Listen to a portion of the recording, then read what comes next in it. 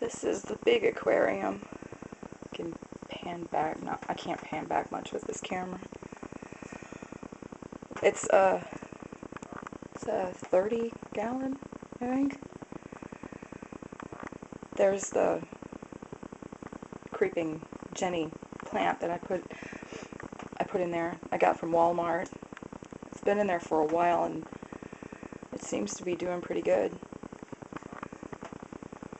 There's mostly platies in there and this fancy zebra, long-fin zebrafish or something. Cheap fish courtesy of PetSmart. but the plants are rooting.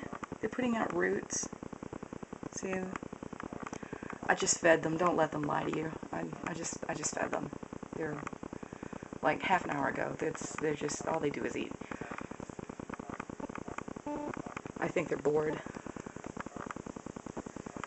Just put a shark in there and chase them around. Give them something to do. I'm, I'm kidding.